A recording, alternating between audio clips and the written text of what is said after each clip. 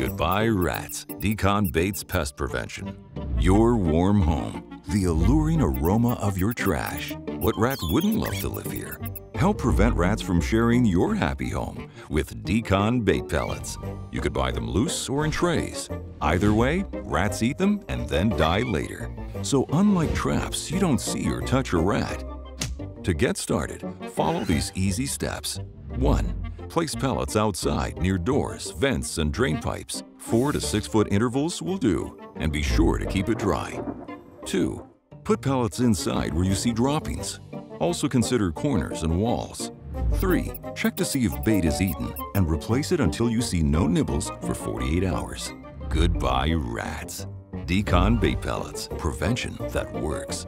d-CON. Guaranteed to kill.